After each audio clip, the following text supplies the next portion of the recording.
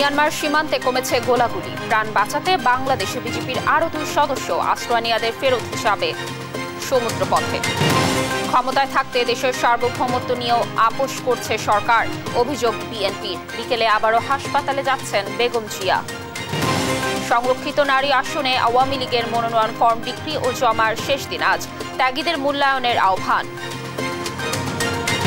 স্বামীকে আটকে স্ত্রীকে কৌশলে ডেকে আনে জাবিতে গৃহবধূ ধর্ষণের মূল হোতা মামুন ও মুরাদ ক্যাম্পাসে আন্দোলন অব্যাহত। সময় মতো মিলবে আইএমএফ এর ঋণের তৃতীয় কিস্তি, জানালেন অর্থমন্ত্রী। প্রকল্পের আশায় বসে না থাকার পরামর্শ পরিবেশ মন্ত্রীর। রাজনৈতিক অস্থিরতার মধ্যেই পাকিস্তানে চলছে জাতীয় নির্বাচন। কারাগার থেকে ভোট দিলেন ইমরান, কোণঠাসা, পিটিআই। এবং সাফ অনূর্ধ্ব উনিশ নারী ফুটবলের ফাইনালে আজ ভারতের বিপক্ষে লড়বে বাংলাদেশ। কমলাপুরে ম্যাচ শুরু সন্ধ্যা ছয়টায়।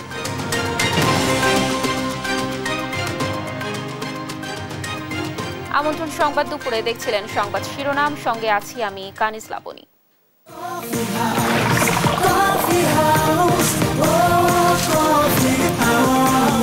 কফি হাউস প্রতি চুমুকে আড্ডা জমে। দর্শক, চলে যাচ্ছে বিস্তারিত সংবাদে।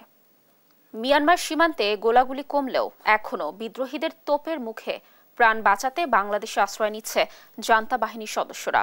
নতুন করে ঢুকেছেন বিজেপির আরও দুই সদস্য। বুধবার বিকেলে কক্সবাজারের হোয়াইক্যাং সীমান্ত পেরিয়ে আশ্রয় নেন মিয়ানমার বিজেপির এক সদস্য। তাকে দেখে ঘিরে ধরেন স্থানীয়রা। পরে বিজেপি সদস্যরা নিয়ে আসেন ক্যাম্পে। এর আগে তেষট্টি জনের একটি দল সীমান্ত দিয়ে বাংলাদেশে প্রবেশ করে। তাদেরও বিজিবির হোয়াইক্যাং ক্যাম্পে নেওয়া হয়। সেখানেই তাদের খাবারের ব্যবস্থা করে বিজিবি যুদ্ধের আতঙ্কে বান্দরবানের সীমান্তবর্তী গ্রামগুলো এখন প্রায় মানুষ শূন্য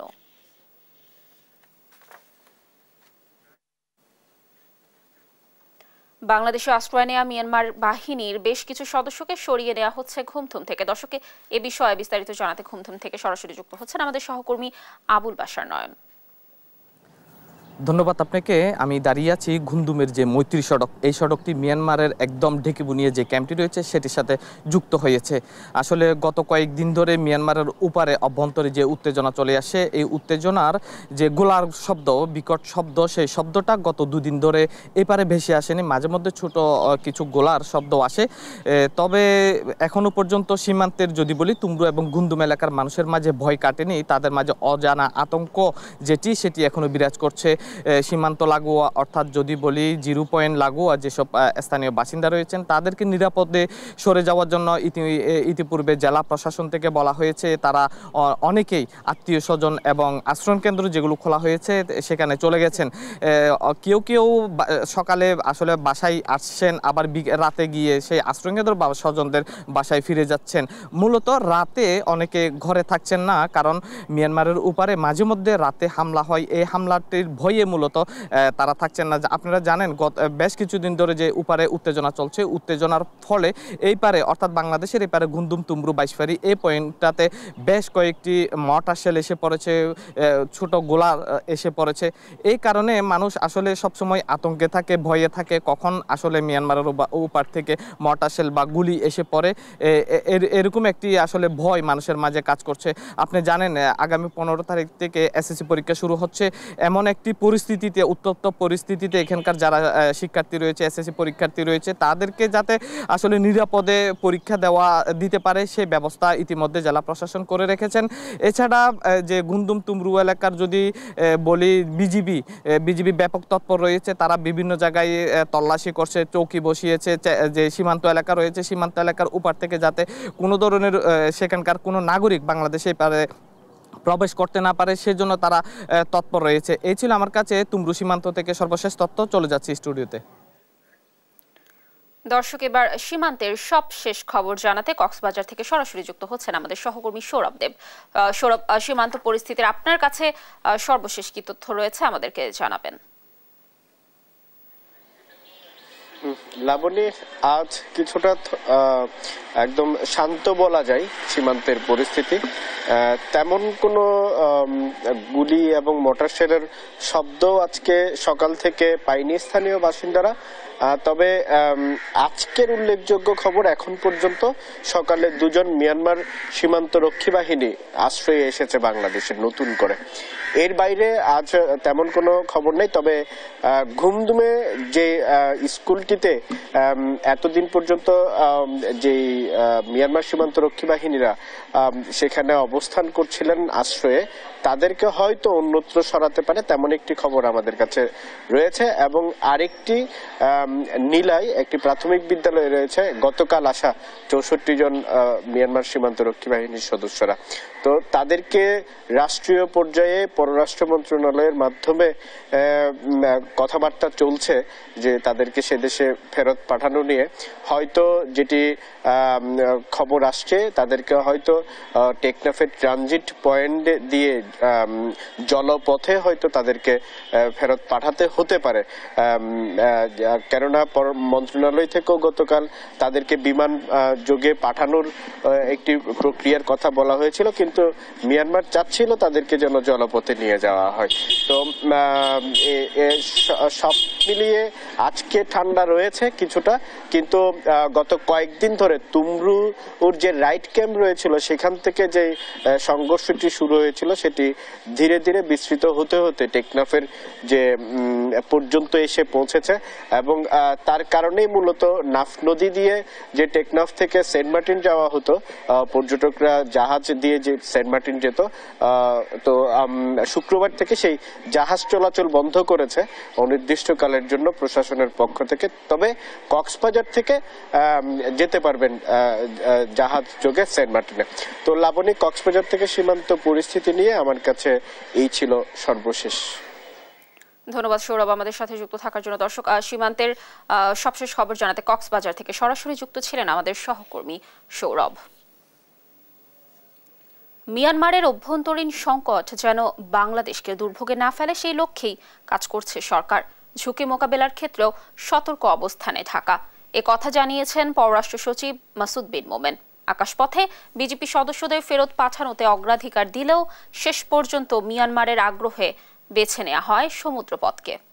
আজিজুর রহমান কিরণের রিপোর্ট। মিয়ানমারের আভ্যন্তরীণ সংঘাতে উদ্বেগ আর উৎকণ্ঠা বাড়ছে বাংলাদেশে। এগারো লাখের বেশি আশ্রিত রোহিঙ্গাদের সঙ্গে প্রতিনিয়ত যোগ হচ্ছে আশ্রয় চাওয়া বিজেপি ও সেনা সদস্যদের সংখ্যা, যা এখন বেড়ে তিনশোর বেশি, বাড়ছে সীমান্ত নিরাপত্তা হুমকিও। এ নিয়ে করণীয় ঠিক করতেই আন্তমন্ত্রণালয়ের বৈঠক হয় পররাষ্ট্র মন্ত্রণালয়ে। যেখানে দ্রুত সময়ের মধ্যে আশ্রিত মিয়ানমার বাহিনীর সদস্যদের ফেরত পাঠাতে কর্মকৌশল নিয়ে আলোচনা হয়। আশু করণীয় যে বিষয়গুলো সেটা নিয়ে আমরা আলোচনা করেছি। আর তাদেরকে কীভাবে তাদের দেশে ফিরিয়ে দেওয়া যায় সেটাই আমাদের মেইন আলোচ্য বিষয় ছিল। আশ্রিতদের ফেরত পাঠানোর প্রক্রিয়া নিয়ে চলছে আলোচনা। তবে বাংলাদেশ আকাশপথ সমর্থন করলেও মিয়ানমারের চাওয়া নৌপথ জানান পররাষ্ট্র সচিব। আমাদের প্রিফার্ড অপশন হচ্ছে যদি বিমান পথে যাওয়া যায়। তবে ওনারা সমুদ্র দিয়েও বিষয়টা হয়তো আলোচনায় তুলবেন বলে আমরা ভাবছি। তো যেটাই হোক যেটা সবচেয়ে বেশি নিরাপদ হয় এবং যেটা দ্রুততম সময় করা যায় সেটাই আমাদের প্রায়োরিটি থাকবে। মাসুদ বিন মোমেন বলেন সংঘাতের মাঝে আশ্রয়ের কারণে সরকারের ভূমিকা নিয়ে মিয়ানমারের সঙ্গে ভুল বোঝাবুঝির কোনো সুযোগ নেই। জানান সীমান্ত এলাকার সাধারণ মানুষের নিরাপত্তা নিশ্চিতে কাজ করছে সরকার। নেপিটোতে যোগাযোগ আছে ঢাকায় তাদের যে রাষ্ট্রদূত আছে তার সাথে যোগাযোগ আছে। সুতরাং আমরা এই মুহূর্তে কোনো ধরনের ভুল বোঝাবুঝির অবকাশ দেখছি না। তবে গ্রাউন্ড সিচুয়েশন তো ভিন্ন। এখানে আমরা জানি যে আরাকান আর্মি তারা একটা আর্মড কনফ্লিক্টে জড়িত আছে এই মুহূর্তে। বাট আমরা যেটা স্পষ্ট করে সবাইকে বলতে চাই যে তাদের আভ্যন্তরীণ যে সমস্যা বা সংকট সেটার স্পিল ওভার এফেক্ট যেন আমরা না ভোগ করতে হয় বা না পোহাতে হয় সেটাই আমাদের কাম্য। এরই মধ্যে জাতিসংঘের নিরাপত্তা পরিষদে এ বিষয়ে আলোচনা হয়েছে। সব পক্ষের মধ্যস্থতায় বাংলাদেশ সুষ্ঠু সমাধান চায় বলেও জানান পররাষ্ট্র সচিব। আজিজুর রহমান কিরণ দেশ টিভি ঢাকা। সরকার ক্ষমতায় থাকার জন্য স্বাধীনতা ও সার্বভৌমত্বকেও কেয়ার করছে না বলে অভিযোগ করেছেন বিএনপির সিনিয়র যুব মহাসচিব রুহুল কবির রিজভি। দুপুরে নয়াপল্টনে বিএনপির কেন্দ্রীয় কার্যালয়ে এক সংবাদ সম্মেলনে এ কথা বলেন তিনি। বান্দরবানের নাইখং ছড়িতে বাংলাদেশ মিয়ানমার সীমান্ত অরক্ষিত হয়ে পড়েছে। সেখানে বাংলাদেশের নাগরিকরা চরম নিরাপত্তাহীনতায়। মানে এটি তাদের নতজানুর আরেকটি বৈশিষ্ট্য। একদিকে তো আমাদের, কি বলে যে, উত্তর, পশ্চিম সীমান্ত, আরেকদিকে এই বার্মা হচ্ছে পূর্ব সীমান্তের ওপাশে আরেকটি প্রতিবেশী দেশ। সেখানে যা ঘটছে আপনারা প্রতিনিয়ত, প্রতিদিন সেটা লক্ষ্য করছেন। মেডিকেল বোর্ডের সিদ্ধান্ত অনুযায়ী জরুরি স্বাস্থ্য পরীক্ষার জন্য আজ হাসপাতালে নেওয়া হবে বিএনপি চেয়ারপারসন খালেদা জিয়াকে।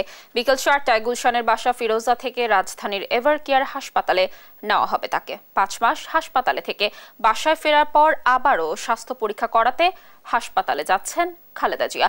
গেল বছরের নয় আগস্ট বিএনপি চেয়ারপারসনকে ঢাকার এভার কেয়ার হাসপাতালে ভর্তি করা হয়। পাঁচ মাসেরও বেশি সময় চিকিৎসা শেষে গত এগারো জানুয়ারি বাসায় ফেরেন খালেদা জিয়া। উন্নত চিকিৎসার জন্য খালেদা জিয়াকে বিদেশে নিতে তার পরিবার থেকে সরকারের কাছে একাধিকবার আবেদন করা হলেও অনুমতি মেলেনি। জিয়া অরফানেজ ট্রাস্ট দুর্নীতি মামলায় দু হাজার আঠারো সালের আট ফেব্রুয়ারি পাঁচ বছরের সাজা হয়। খালেদা জিয়ার। এরপর দফায় দফায় তার মুক্তির মেয়াদ বাড়ানো হচ্ছে। সংরক্ষিত নারী আসনে আওয়ামী লীগে মনোনয়ন ফর্ম বিক্রি ও জমার শেষ দিন আজ সকাল দশটা থেকে বঙ্গবন্ধু এভিনিউয়ে আওয়ামী লীগের কেন্দ্রীয় কার্যালয় থেকে শেষ দিনের মনোনয়ন ফর্ম বিক্রি চলছে। বুধবার পাঁচশো বাইশটি মনোনয়ন ফর্ম বিক্রি করা হয় আর আগের দিন বিক্রি করা হয় আটশো দশটি। মনোনয়ন ফর্ম বিক্রি ঘিরে দলের কেন্দ্রীয় কার্যালয়ে বিরাজ করছে উৎসব আমেজ। তবে চলচ্চিত্র সহ বিভিন্ন অঙ্গনের অনেকের দৌড়ঝাঁপে বিরক্তি প্রকাশ করেছেন অনেকে। তারা বলেছেন, দল যেন ত্যাগীদের মূল্যায়ন করে।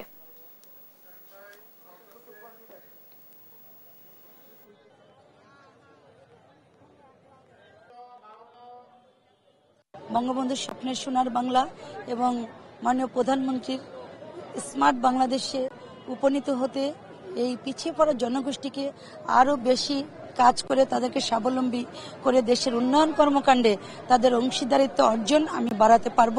আমি মহিলা মহিলাদের অধিকার নিয়ে এবং আমার এলাকার উন্নয়নের জন্য এবং আমাদের এলাকার যে অবহেলিত জনগণ আছে তাদের পাশে কাজ করতে চাই রাস্তাঘাটের উন্নয়ন করতে চাই।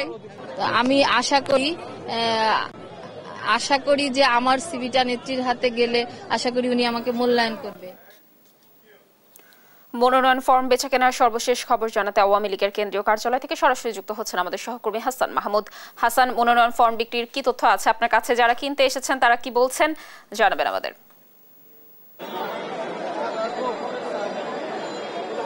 লাবণী আপনাকে ধন্যবাদ। আপনি যেমনটা বলছিলেন যে সকাল থেকে আসলে মনোনয়ন ফর্ম শুরু হয় আজকে তৃতীয় দিনের মতো এবং আজকে বিকেল চারটা পর্যন্ত মনোনয়ন পত্র আসলে জমা দেওয়া যাবে এবং তিনটা পর্যন্ত মনোনয়ন পত্র সংরক্ষণ করা যাবে। এর আগে দুপুর একটা থেকে দুইটা পর্যন্ত মধ্যাহ্নভোজের বিরতির পর এখন কিন্তু আবার পুরোদমে শুরু হয়েছে আওয়ামী লীগের কেন্দ্রীয় কার্যালয়ে যে সংরক্ষিত নারী আসন আছে সেগুলোর প্রার্থীদের মনোনয়ন পত্র ফর্ম বিক্রি। এবং গতকালকে পর্যন্ত আমরা যেটি সংবাদ পেয়েছিলাম যে তেরোশোর বেশি আসলে মনোনয়ন পত্র আহ, সংগ্রহ করেছিলেন। এই তালিকায় আসলে আওয়ামী লীগের কেন্দ্রীয় নেতৃবৃন্দ যেমন রয়েছে মহিলা আওয়ামী লীগ এবং যুব মহিলা আওয়ামী লীগের অনেক নেতৃবৃন্দ তারা কিন্তু আসলে মনোনয়নপত্র সংগ্রহ করেছেন। এর বাইরেও কিন্তু বিভিন্ন সমাজের আসলে অনেক জায়গার থেকে নারীরা কিন্তু এসেছেন তারা মনোনয়নপত্র সংগ্রহ করেছেন এবং তারা চান যে আওয়ামী লীগের যে উন্নয়নের ধারা গত কিছুদিন ধরে রয়েছে সেটি কিন্তু অব্যাহত রাখতে এবং প্রধানমন্ত্রী শেখ হাসিনার হাতকে শক্তিশালী করতেই কিন্তু তারা বলছেন যে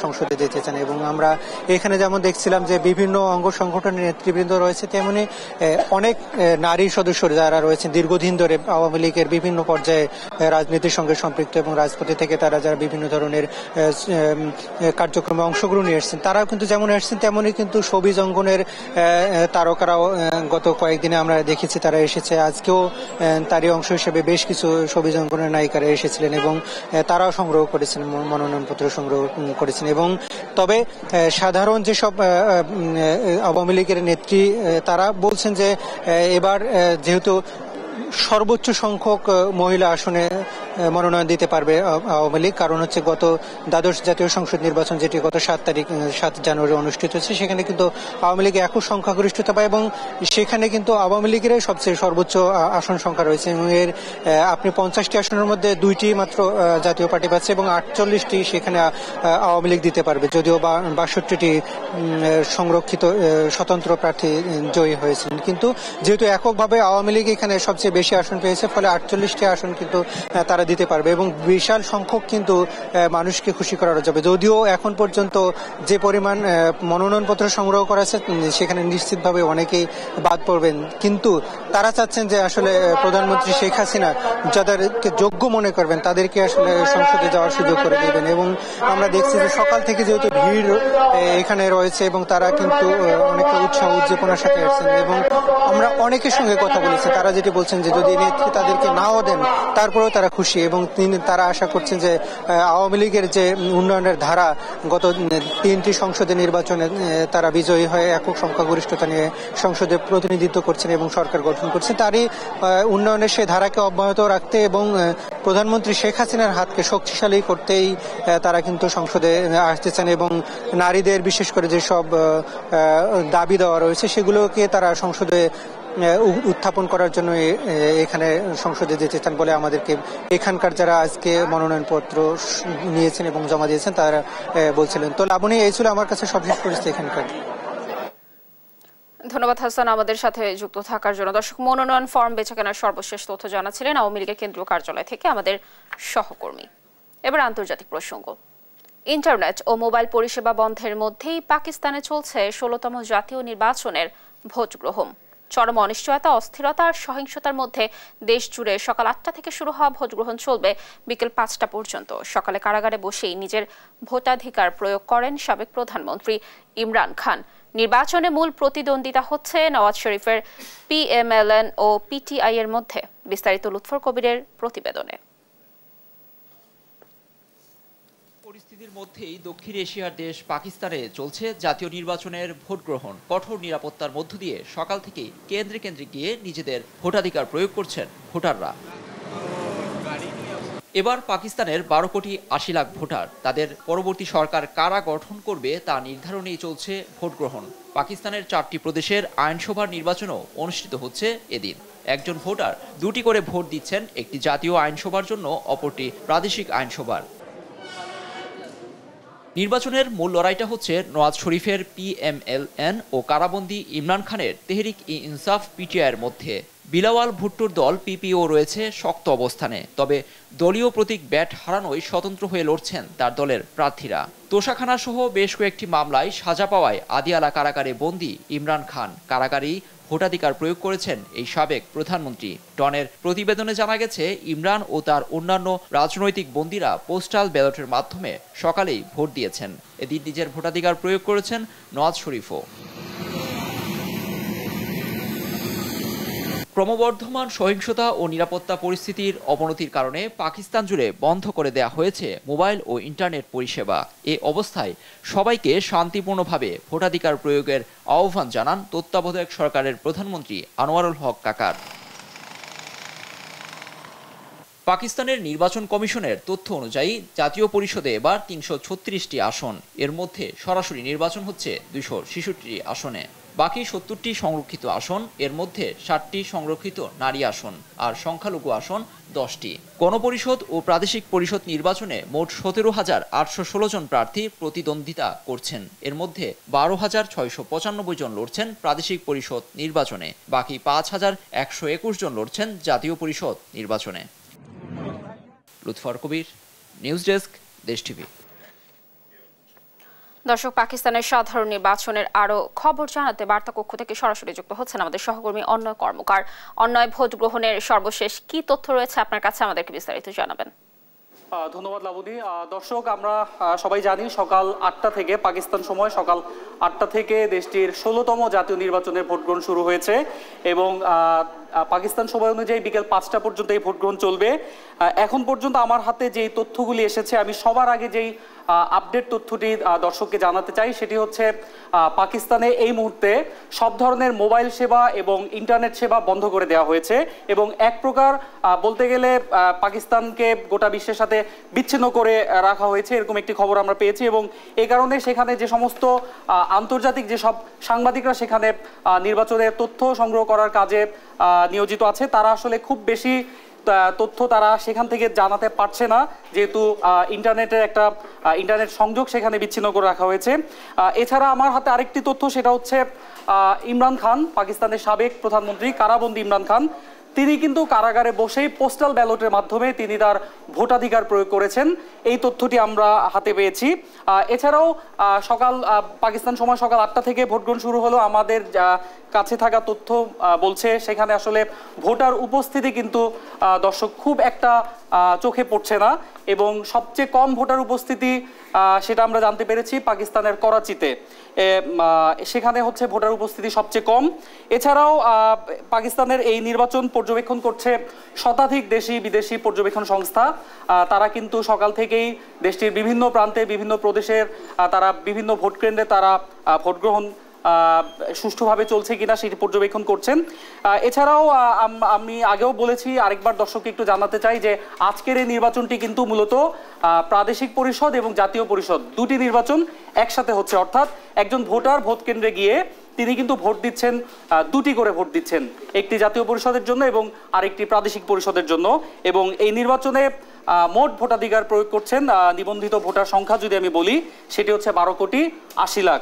দর্শক, এক্ষেত্রে আমি আরেকটা তথ্য একটু আপনাদেরকে জানাতে চাই। সেটা হচ্ছে যে বারো কোটি আশি লাখ ভোটার মধ্যে পাকিস্তানের তরুণ ভোটারের সংখ্যা কিন্তু সাড়ে পাঁচ কোটি। এবং আরও স্পষ্ট করে বললে, এই সাড়ে পাঁচ কোটির মধ্যে প্রথমবার যারা ভোট, ভোটার হয়েছেন, সেই সংখ্যাটি আসলে সোয়া দুই কোটির একটু বেশি। এবং আমরা যদি পাকিস্তানের বিগত আটটি নির্বাচন যদি আমরা একটু দেখ- সেক্ষেত্রে একটি তথ্য বলছে যে, পাকিস্তানের তরুণ ভোটারদের ভোটার উপস্থিতি বা ভোট দেওয়ার যে হার সেইটি আসলে সাধারণ বা মানে মোট ভোটার উপস্থিতির চেয়ে তরুণ ভোটারদের ভোট পড়ার হার কিন্তু যথেষ্ট কম এবং বিগত আটটি নির্বাচনে তরুণ ভোটারদের ভোট পড়ার হার ছিল একত্রিশ শতাংশ এবং এক্ষেত্রে হচ্ছে পাকিস্তানের তরুণ ভোটার আসলে যেটি আমরা বিগত কিছুদিন ধরে হচ্ছে আমরা পাকিস্তানের বিভিন্ন তথ্য হচ্ছে আমরা সংগ্রহ করেছি, নির্বাচন নিয়ে আমরা যে সমস্ত তথ্য পেয়েছি, সেখানে আসলে একটি বিষয় পরিষ্কার, পাকিস্তানের তরুণ প্রজন্ম আসলে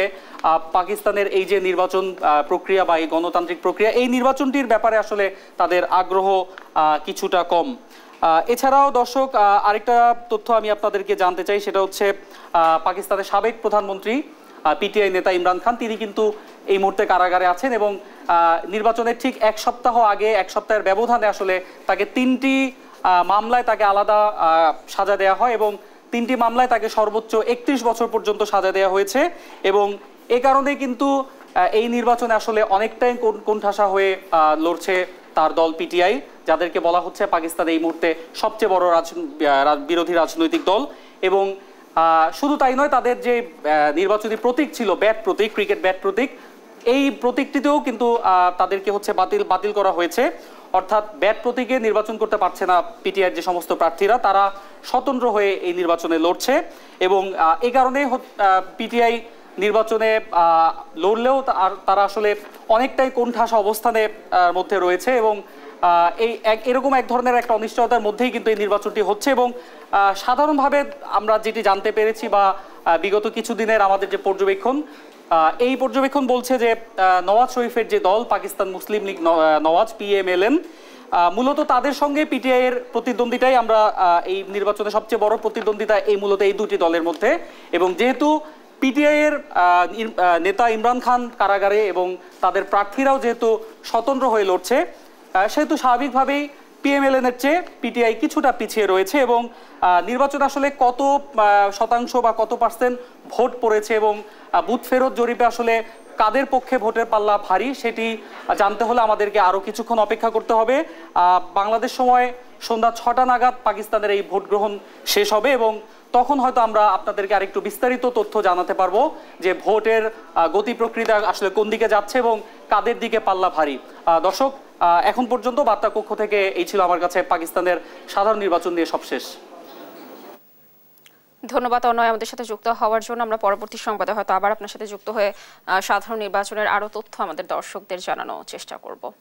টাকা পয়সার লেনদেন নয়, মাদক ব্যবসার অবাধ সুযোগ দিতেই জাহাঙ্গীরনগর বিশ্ববিদ্যালয়ে ধর্ষণের ঘটনা ঘটনা হয়েছে। এ ধরনের ঘটনা খোদ বিশ্ববিদ্যালয়ের ভেতরে হর হামেশা ঘটছে বলে জানিয়েছে র্যাব। বৃহস্পতিবার রাজধানীর কারওয়ান বাজারে ব্রিফিং করে র্যাব জানায়, বুধবার রাতে রাজধানীর ফার্মগেট ও নওগাঁ থেকে ধর্ষণের ঘটনার হোতা মামুনুর রশিদ মামুন ও সহায়তাকারী মুরাদকে গ্রেফতার করে র্যাব।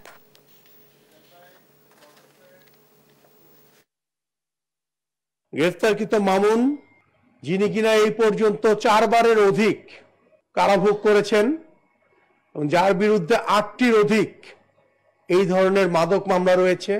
তিনি অধিকাংশ সময় ব্যয় করতেন সেই জাহাঙ্গীরনগর বিশ্ববিদ্যালয়ের ভিতরে যে বটতলা মার্কেট যে এলাকাটা রয়েছে, বিশ্ববিদ্যালয়ের অভ্যন্তরে এবং পাশাপাশি এই মোশারফ হল এবং বঙ্গবন্ধু হলের সামনে। তার মূল ব্যবসা ছিল মাদক ব্যবসা। গৃহবধূ ধর্ষণের ঘটনায় জাহাঙ্গীরনগর বিশ্ববিদ্যালয়ের সবশেষ পরিস্থিতি জানাতে সরাসরি যুক্ত হচ্ছেন আমাদের সহকর্মী শাহিনুর রহমান। শাহিন শাহিন, আন্দোলনের সবশেষ কি তথ্য রয়েছে? আপনার কাছে আমাদেরকে জানাবেন। লাবণী, আপনাকে ধন্যবাদ। আমি কিন্তু এই মুহূর্তে আছি জাহাঙ্গীরনগর বিশ্ববিদ্যালয়ে যে মুরাদ চত্বর, এই মুরাদ চত্বর। আপনাকে জানাই যে সকাল থেকে কিন্তু আমরা দেখতে পেরেছি যে ছাত্রলীগের পক্ষ থেকে কিন্তু তারা কিন্তু দর্শন বিরোধী যে বিক্ষোভ মিছিল করেছে এমনটি কিন্তু আমরা দেখেছি এবং এবং মৌন মিছিল করেছে এমনটি কিন্তু আমরা দেখেছি। আমরা কিন্তু যে ইতিমধ্যে আমরা শুনেছি যে দর্শনের যে ঘটনা প্রত্যেকটা আসামিকে কিন্তু গ্রেপ্তার করা হয়েছে এবং সাধারণ ছাত্রদের সাথে আমরা কথা বলেছি। তারা আমাদেরকে জানিয়েছে তারা যে দ্রুত সময়ের মধ্যে যাতে বিচারটা সম্পূর্ণ করা হয়। আমরা এখন যাব কিছু সাধারণ ছাত্রের সাথে কথা বলার জন্য। যে এই যে কয়েকদিন আগে যে দর্শনের ঘটনায় আগেই চারজন গ্রেপ্তার হয়েছে, আবার গতকালকেও দুজন গ্রেপ্তার হয়েছে। এখন তাদেরকে কি আপনার আশাবাদ কি করতেছেন? না, প্রতিবারই দেখা যায় এই ধরনের কোনো ঘটনা ঘটলে হচ্ছে, আমরা শুনি, গ্রেফতারের নিউজ শুনি বা বিভিন্ন ধরনের নিউজ শুনি, কিন্তু প্রসিডিউরটার মধ্যে কয়েক স্টেপ গিয়ে দেখা যায় সঠিক বিচারটা আর হয় না। তো সেক্ষেত্রে বারবার এই ঘটনাগুলো ঘটার কারণ তো অবশ্যই এটা, তারা সঠিক বিচার পাচ্ছে না, দৃষ্টান্তমূলক শাস্তি পাচ্ছে না। তো এবার আমরা চাই বিষয়টা ডিফারেন্ট হোক, প্রশাসন যাতে আর এ ধরনের পরিস্থিতির সম্মুখীন না হোক, আমাদের আমাদের সাধারণ শিক্ষার্থী হিসেবে তো আমাদের ইচ্ছা করে না যে প্রশাসনের বিরুদ্ধে ধরনের মিছিল করতে বা এসব কিছু করতে। তো চাচ্ছি যাতে এবার আসলেই তারা একটা এক্সাম্পল সেট করুক যে পরিবর্তন আসছে। যেমনটি বলছেন, আমরা আরেকজন শিক্ষার্থীর সাথে যদি একটু কথা বলতে চেষ্টা করি। জি ও যেভাবে বলল যে এক্সাম্পল সেট করতে। আসলে বিষয়টা এরকমই যে প্রতিবারই আমরা দেখি যে গ্রেপ্তার হয় বা দণ্ডনীয়মূলক কোনো কি শাস্তি হয় না। বাট এমন একটা এক্সাম্পল আমাদের সামনে আসা উচিত যাতে একটা মানুষ যে কোনো ধরনের ছোট হোক, বড় হোক একটা অপরাধ করার আগে যেন মিনিমাম দশ বার ভাবে যে আমি কি করছি। তাহলে সেটা আমাদের সমাজের জন্য কিছু একটা এই এক্সাম্পলটা কাজে দিবে, সেটা আমি মনে করি। তো শাস্তিটা তো অবশ্যই কাম্য সেটা দণ্ডনীয়মূলক হতে হবে। সেটাই আমার মনে হয় এরকমই হওয়া উচিত। আমরা কিন্তু বিভিন্ন ছাত্র শিক্ষকের সাথে কথা বলেছি। তাদের কিন্তু একটাই মতামত যে দ্রুত সময়ের মধ্যে যাতে বিচারটা সম্পন্ন করা হয়। এই ছিল জাহাঙ্গীরনগর বিশ্ববিদ্যালয় থেকে লাবণী। ধন্যবাদ শাহিন আমাদের সাথে যুক্ত থাকার জন্য। দর্শক গৃহবধূ ধর্ষণের ঘটনায় জাহাঙ্গীরনগর বিশ্ববিদ্যালয়ের সবশেষ পরিস্থিতি জানাচ্ছিলেন আমাদের সহকর্মী শাহিন। গোপালগঞ্জের মকসুদপুর উপজেলায় মহিলা কওমি মাদ্রাসার দ্বিতীয় শ্রেণির এক ছাত্রীকে ধর্ষণের অভিযোগ উঠেছে প্রতিষ্ঠানটির এক শিক্ষকের বিরুদ্ধে। বুধবার রাত আটটার দিকে এই ঘটনা ঘটে। বাসায় ফেরার পর পরিবারের লোকজন তাকে উপজেলা স্বাস্থ্য কমপ্লেক্সে নিয়ে যায়। শারীরিক অবস্থার অবনতি হলে পরে ফরিদপুর বঙ্গবন্ধু শেখ মুজিব মেডিকেল কলেজ হাসপাতালে নেওয়া হয় তাকে। দ্রুত ধর্ষককে গ্রেফতার করে আইনের আওতায় আনা হবে বলে জানিয়েছেন মকসুদপুর থানার ভারপ্রাপ্ত কর্মকর্তা আশরাফুল আলম।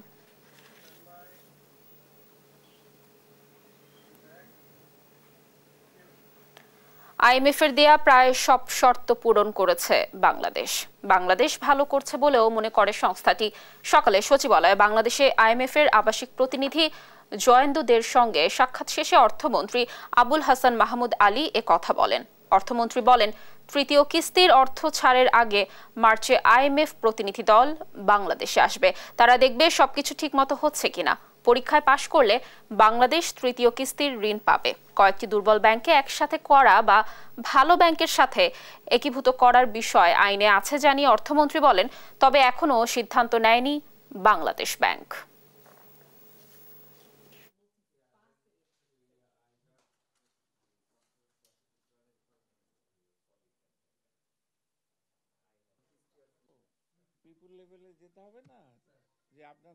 আইএমএফ এর যেগুলো তারা টার্গেট দিয়েছে এগুলো বেশিরভাগই সেগুলো মিট করেছে আমাদের ইয়ে আমাদের গভর্নমেন্ট বা দেশ।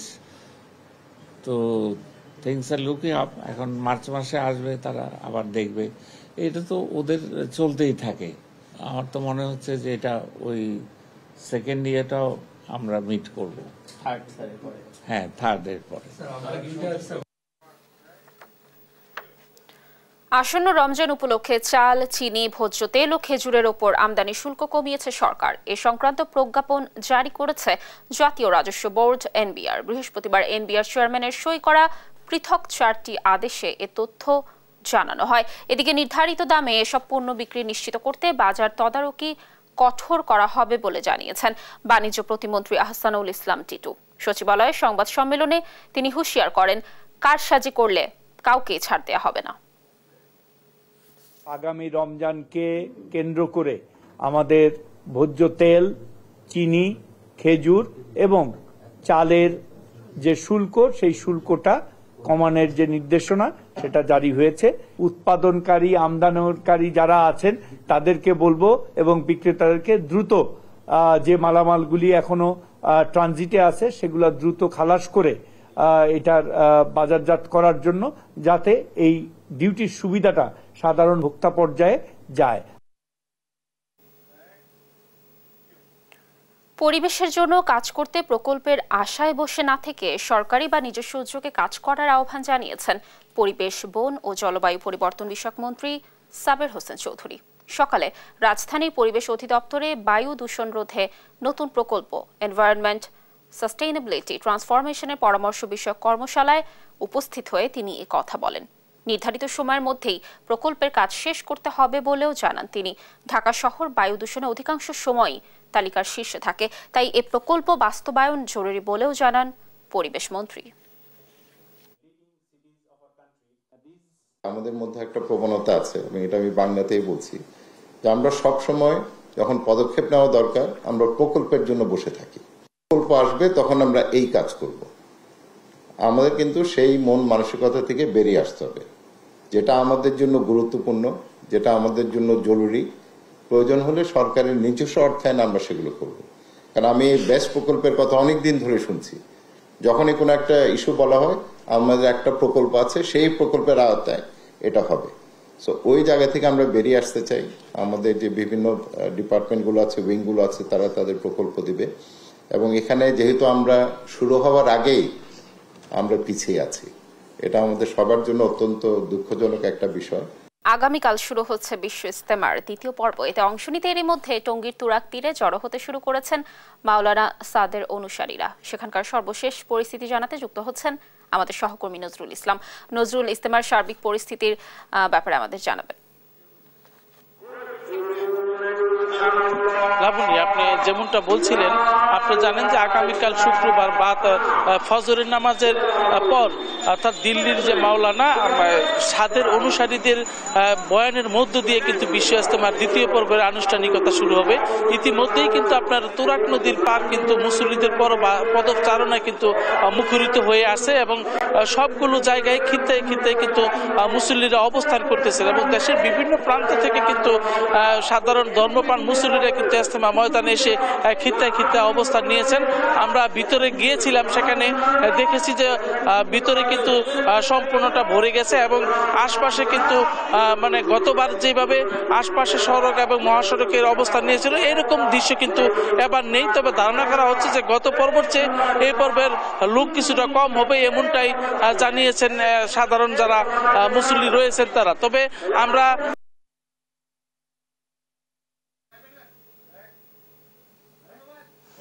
ধন্যবাদ নজরুল আমাদের সাথে যুক্ত থাকার জন্য। দর্শক, আগামীকাল শুরু হচ্ছে বিশ্ব ইস্তেমার দ্বিতীয় পর্ব। এতে অংশ নিতে এর মধ্যে টঙ্গীর তুরাক তীরে জড়ো হয়েছেন মাওলানা সাদের অনুসারীরা। সে ব্যাপারে বিস্তারিত তথ্য জানাচ্ছিলেন আমাদের সহকর্মী।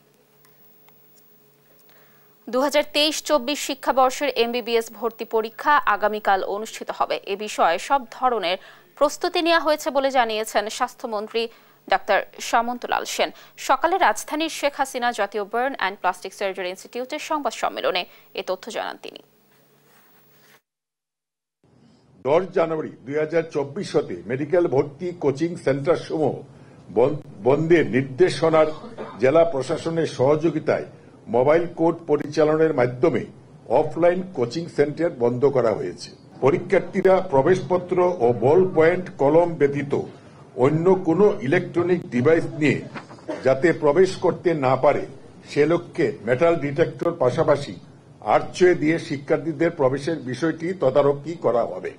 পরীক্ষার সাথে সংশ্লিষ্ট যে কোনো প্রকার অসদাচরণ প্রতারণা, গুজব ছাড়ানোর সাথে জড়িত কাউকে চিহ্নিত করা গেলে তার বিরুদ্ধে আইনানুগ ব্যবস্থা করে ব্যাপক প্রচারের ব্যবস্থা গ্রহণ করা হয়েছে।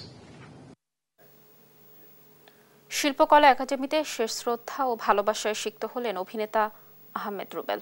বৃহস্পতিবার বেলা এগারোটার দিকে ঢাকা থিয়েটারের উৎসুকে লাশবাহী ফ্রিজারে করে শিল্পকলা চত্বরে আনা হয় আহমেদ রুবেলের মরদেহ। একে একে প্রত্যেকে ফুলের শুভেচ্ছা ও ভালোবাসায় সিক্ত করেছেন অনুরাগী ও সহশিল্পীরা। ঢাকা থিয়েটার ছাড়াও আহমেদ রুবেলকে শ্রদ্ধা নিবেদন জানাতে আসেন আওয়ামী লীগের কেন্দ্রীয় সাংস্কৃতিক বিষয়ক উপকমিটি, গ্রাম বাংলা থিয়েটার অভিনয় শিল্পী সংঘ, সংসদ এবং চিত্রনায়ক ফেরদৌস। বুধবার সন্ধ্যায় বসুন্ধরা শপিং মলের বেসমেন্টে গাড়ি থেকে নামার সময় পড়ে গিয়ে অসুস্থ হয়ে পড়েন রুবেল। পরে একটি বেসরকারি হাসপাতালে নিতে ডাক্তার তাকে মৃত ঘোষণা করেন।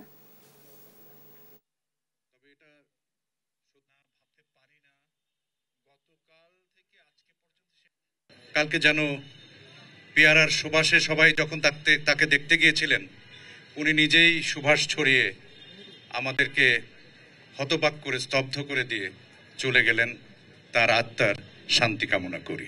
এরকম একজন অভিনেতা অদ্ভুত ধরনের চরিত্রে মানিয়ে যায়। এরকম অবয়ব এরকম অভিনয় এরকম ভয়েস।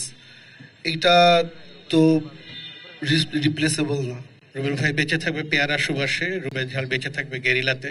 তার অসাধারণ অভিনয় ক্ষমতা আমাকে সবসময় মুগ্ধ করেছে মুগ্ধ করবে। তার ভালো ভালো বেশ কিছু কাজ রয়ে গেছে। বিশেষ করে জাতির জনক তিনি অসাধারণ একটি সিনেমাতে অভিনয় করেছেন। আমি তার সুখ, সন্তুষ্ট পরিবারের জন্য সমবেদনা জানাচ্ছি। তার আত্মার জন্য আমরা সবাই দোয়া করব। আবারও দেশের বাইরের খবর। গাজায় হামাসের যুদ্ধবিরতির প্রস্তাবের শর্ত মানা অসম্ভব জানিয়ে প্রত্যাখ্যান করেছেন ইসরায়েলি প্রধানমন্ত্রী নেতানিয়াহু। আগামী এক মাসের মধ্যে উপত্যকায় তার বাহিনীর চূড়ান্ত বিজয় হবে বলেও দাবি করেন তিনি। তবে অবরুদ্ধ গাজায় বর্বরতা চালানোর লাইসেন্স ইসরায়েলকে দেয়া হয়নি বলে হুঁশিয়ার করেছেন মার্কিন পররাষ্ট্রমন্ত্রী অ্যান্টনি ব্লিংকেন। তিনি বলেন, গত সাত অক্টোবর ইসরায়েলে হামাসের হামলা ছিল অমানবিক, কিন্তু গাজায় সহিংসতা চালানোর অনুমতি কাউকে দেয়া হয়নি। এই বক্তব্যের আগে ইসরায়েলি প্রধানমন্ত্রীর সঙ্গে বৈঠক করেন ব্লিংকেন। সাত অক্টোবরের পর থেকে এই নিয়ে পঞ্চমবারের মতো মধ্যপ্রাচ্য সফর করলেন মার্কিন পররাষ্ট্রমন্ত্রী।